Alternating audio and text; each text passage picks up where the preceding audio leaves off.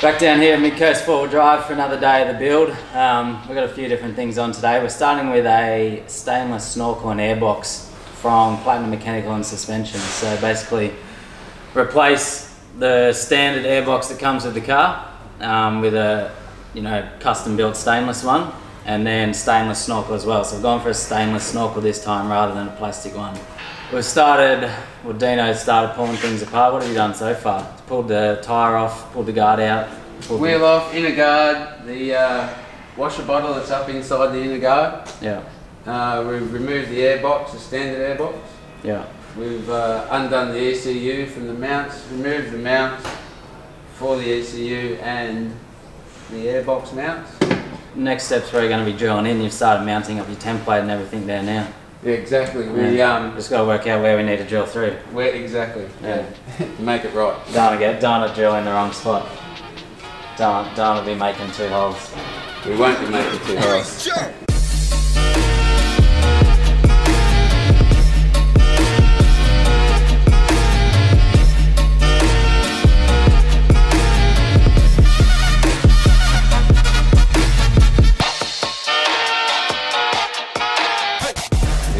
Need to get a few details from them. Yeah. as what we've got, where we're putting it. Obviously, that's going to have to be all cut away Yeah. when that go in. The whole thing comes with step-by-step detailed instructions. Like you got a three-page booklet here with how to do every single step. Um, but because Dino hasn't done one of these ones before, you know this is this is the thing of a custom one. You know each one obviously has individual differences. Um, we just had to get some pictures off them. I just gave them a call then. They sent through a heap of pictures, so I think we're all good now of what we need to do and where we need to cut. Oh, we've done everything he said, haven't we?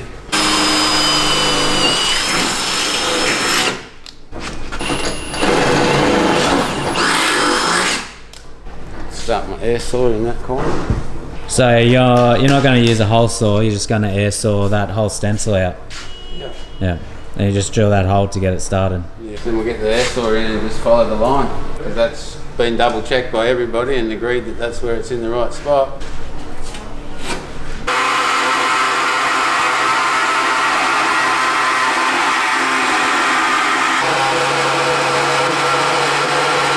We got everything marked up. It comes with a template, obviously, that you line the template up. Uh, you put the tape over, mark your big cutout because it's a stainless snorkel. It kind of all sits in there, so that's why you got a big cut. Dino's just started making the cut now. Obviously, you uh, want to get it right. You don't want to cut in the wrong spot. But yeah, we've got all the template, everything lined up. We've removed everything from the inside out of the way. Um, got all this out of the way as well. The reason I've gone to stainless over plastic, um, it's mainly just a looks thing. There's not really I don't, really know much difference between the stainless and plastic one. The stainless one will obviously be a little bit more noisy as well. That doesn't really worry me. And then the airbox will be a better quality airbox. You know, it's all welded up. It's all sealed really good, so it'll keep the water and dust out a lot better than the plastic one. It's a little bit scary drilling into the side of the new car. I'm glad I'm not doing it.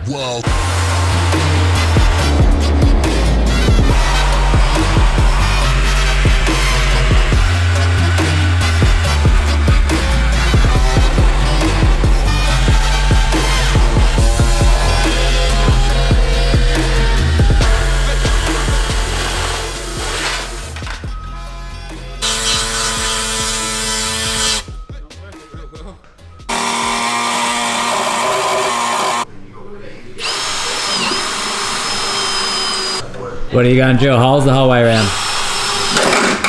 Nah, just some. Yeah. We just join them up in Yeah. the corners where it's hard to get at.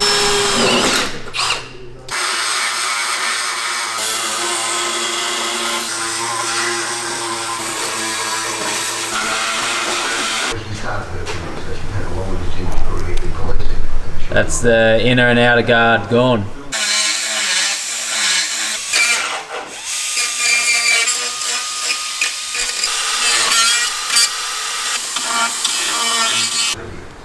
We might have to cut more out. So we'll just try and fit this.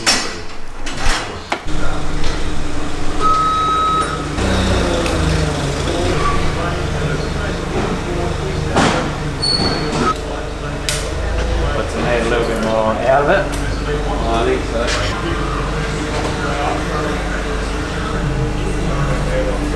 While you're here, look at this. That's going to go roughly in there. What I'm thinking is I might just take a little bit off, off this edge.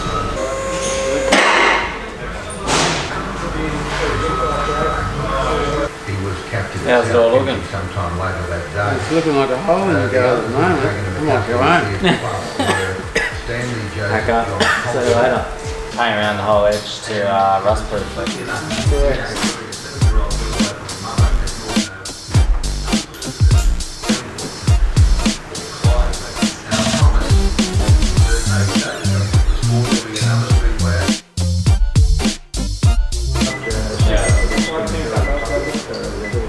This snorkel gets mounted on the inside of the here, so just drilling out the holes now. Mounted on the inside. The same, they normally get mounted on the outside, but this one goes on the in- inside.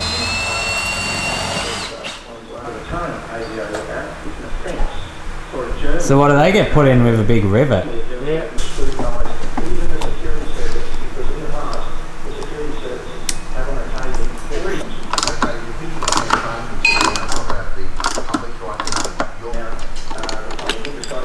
And there's your uh, nut in there.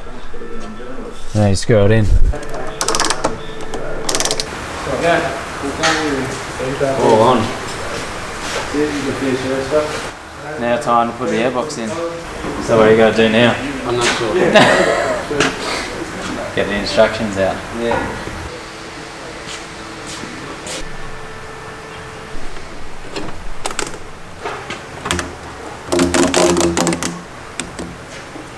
So how are these connections made watertight? Are you putting a I'm gonna put Udalux some silicon in there in a second. silicon? Yeah.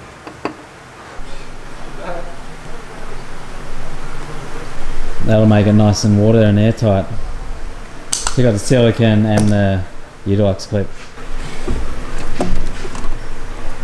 That's in there.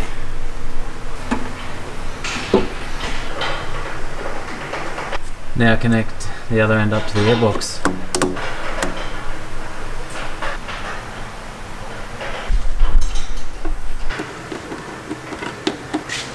No water getting down in there. Or dust. Yep, so you've got to cut that at the, the bend sort of just below where those two studs are. Okay, yeah, yeah. And then and then those two studs, one will slide well they both slide through the ECU, but one will slide through the bracket And the that we ECU, yeah. as well. Yeah, yeah, I can see that now. They um very helpful, but good memory because obviously they work with a lot of different model cars. Yeah, so that's. Yeah, we probably all they do is snorkels. Yeah, well, they well they do the mechanical and spen- suspension. They do a lot of suspension work, Yeah. and then they do their own custom work, which is mostly snorkels and like intercooler pipes and exhausts and stuff. What had to be relocated? Was it just the ECU? The ECU and the harness loom. And then we're getting rid of the old washer bottle and replacing that. Correct. Once again, there's no room for anything. Correct. That's how they have it. Yeah, so I just had to cut that bracket off the old one. Yes, off the original mounting bracket that was over here. Yeah, they gave you that L plate, and then you got yeah had to cut part of the original mounting bracket to get that mounted up there.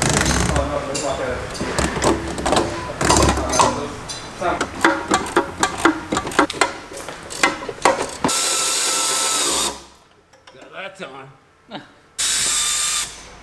We got both snorkel and airbox hooked up now. Uh, it's also in place, a few little large bits and pieces. Uh, I've got to put the airflow sensor wiring in. Now this is the old uh, washer bottle that's in the guard, so that doesn't fit anymore. Now the snorkel's in there, so this is the new washer bottle guard, um, new washer bottle that gets put down in there, so we've got to install that too. That's the ECU there that had to be moved. It was here, then obviously the snorkel comes inside, uh, down a flexi pipe in the airbox, airbox then in the engine. So where the, where the ECU is bolted up and there's a black fuse box beside the, the brake reservoir, Yep. your pictures show another little thing between the booster and the, and the side of the guard. Yep. Well, there's nothing here on this car. Doesn't make sense, though. No. I don't know, have you guys done a Series 4 before? This is a Series 4. We've found a couple of other little bits and pieces that have changed on this car that have caused us issues in other installations. Um, no, we haven't fitted the snorkel to a Series 4 yet. No. Yeah, so, because we had a couple, really. we've had a couple of other issues with like the catch can and the rear bar and a few different bits and pieces. I'll keep keep rocking along and keep going with it. Righto, mate. Thank you. Thanks, mate. Thanks for your help. Cheers. Bye. Bye. No worries. Right. Bit of effort to make up a washer bottle. Fully like welded up stainless washer bottle.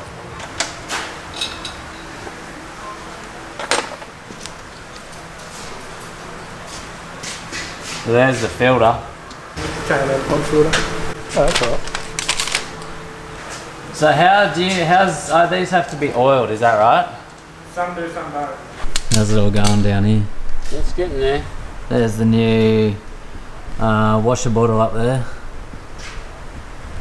And is that electronic? It Just has to be wired up to activate it, obviously, in your car when you turn That's on your switch wire, yeah. in your switch wire. It's just got to be extended because it's not the same length. It's further down where they've mounted it. Shame we can't put it there.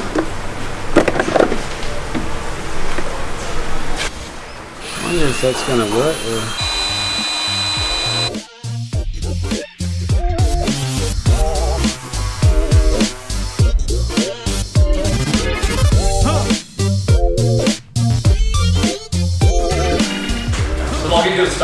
We're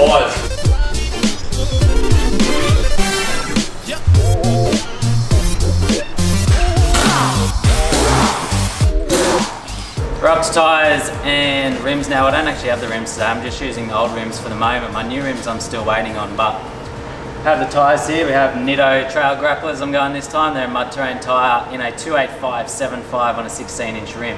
And then with the tyres, I'm also putting in an Oricom tyre pressure monitoring system, which is just kind of like a replacement valve that goes in uh, and then a Bluetooth sits on the inside of the tyre so it's hidden. It just looks like a normal valve on the outside.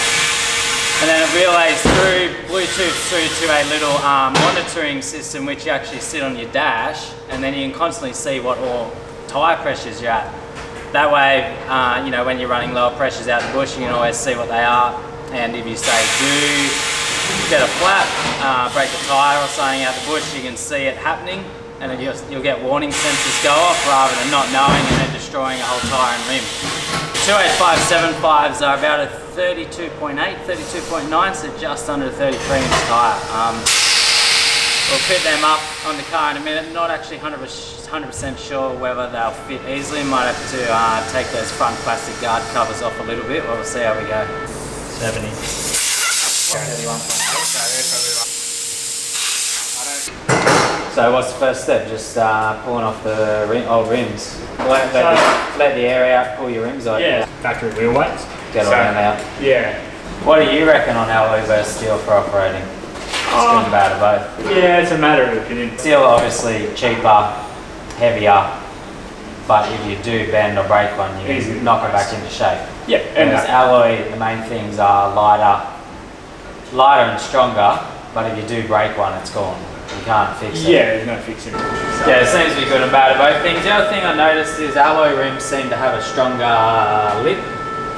Um, As in. Yeah, stronger lip there compared to steel. Because I know the steel ones, I was often getting like muds and rocks in the lip, Yeah, so which uh, was causing like a bit of issue. Alloy, you're less likely to do that. a look at both of those. That's your R weight, that's your steel weight. You can obviously see Yeah, oh, yeah, actual see there profile. the difference. yeah, the actual profile of that lip. Yeah, so the lips on the alloys are a lot, a lot bigger and stronger. Yeah, well, it means it's harder for anything to get in behind that. But you just run it off the bead, yeah. so it's just sitting in behind. and then you come in with your arm. But these ones are usually pretty good.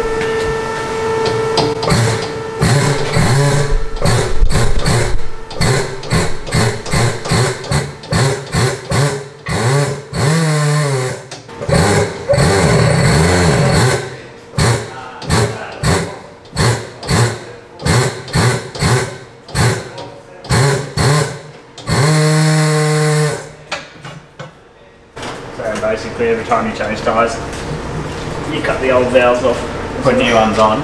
with those sensors. Yeah. all kick. You want to kick in. Yeah. They're reasonably forward, man. It doesn't really take, make it take any longer.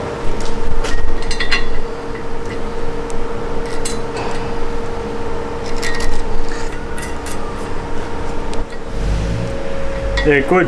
good design in my opinion. They're very they resemble a factory Yeah. factory one. And like it's all it's all hidden out of the way kind of thing, Well, and then you still just got your normal valve on the outside.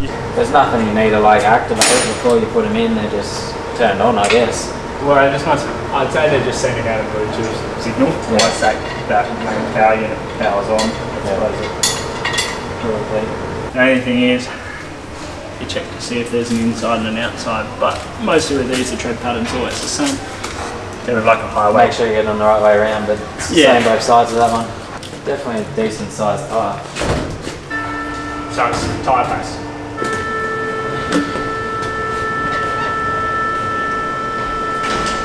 So I reckon we're going to have reasonable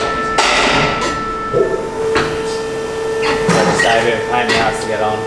Oh, it's just not to maneuver a big tyre. They go on pretty easy.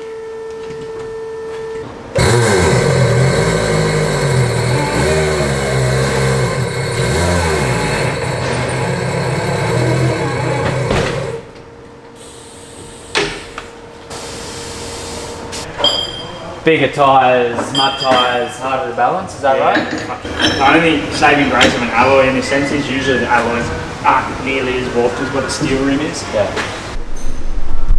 Like 16 by 8. static balance, you'll only knock a weight on the inside, whereas if you're doing a dynamic, it's a weight on the inside and the outside. So, which you get the better balance out of having dynamic on. So you learn dynamic balance now. Yeah. Yeah. Which is the harder one to do because it takes a while to get them balanced down. But works out better in the end. Well, that for you is 70 grams that you need on the outside of the tyre and 50 grams on the end. It's probably because there's so much tread there, and Yeah. so much rubber. Yeah. There's nothing to say that's perfectly circular. Yeah.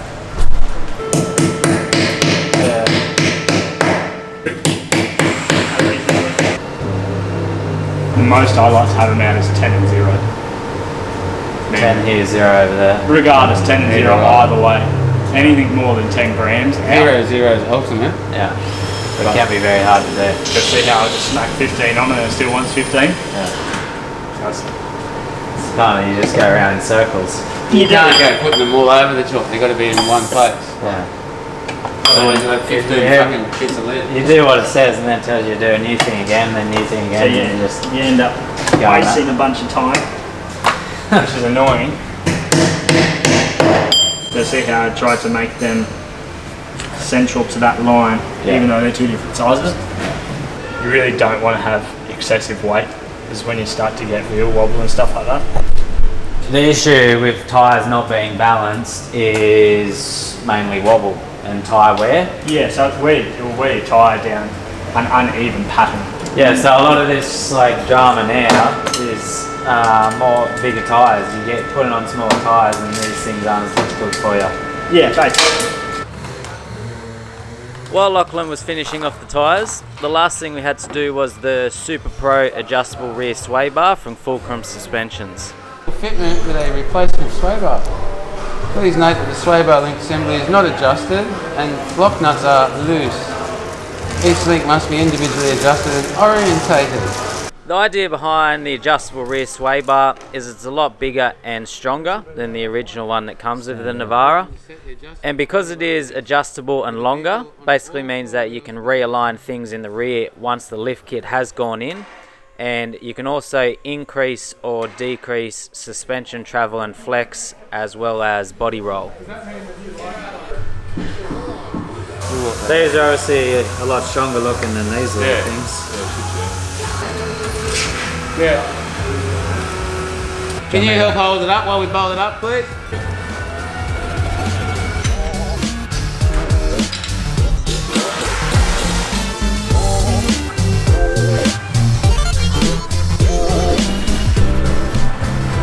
That, see how that coming down? Oh yeah, then you adjust it how you want it. That's coming up, and you've also got two more holes to it, optional. Yeah.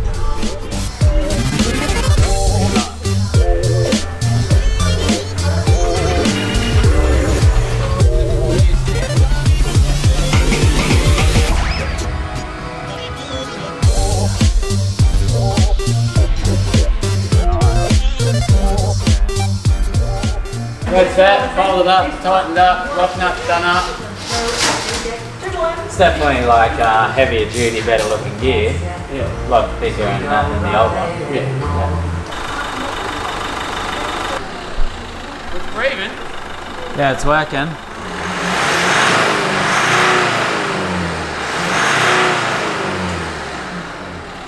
Uh, the they actually work up. Go on, so I'll pick that one up and throw it on. Uh, just, doing a bit of camera work over here. Alright. So I was going to say, once we get it down on the ground, we'll go lock to lock and see where it's going to scrub. And then-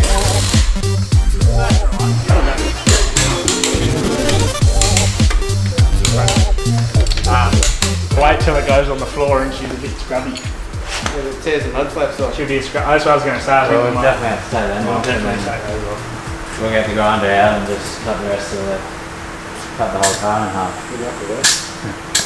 What we've done in the past is heat them Yeah. and pull them back with a cable top. So usually you just drill a hole in the corner Yeah. up here Yeah. and then and then burr the rest of that back about half an inch. Alright. Has any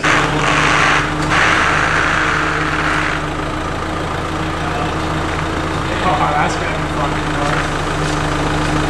How'd you go with that then? Hey? Stay full lock. Ready? Please. Yeah, it's clear. Go that the other way.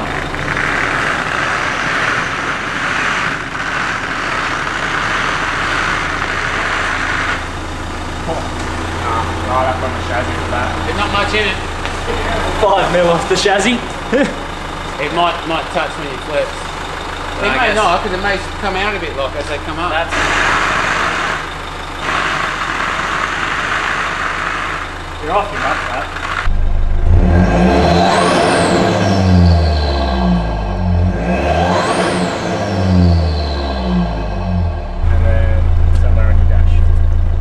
that is like the solar panel. solar panel, so it's not run on battery. Um, well, apparently not. yeah, up there will do. Right there. Yeah, that's fine.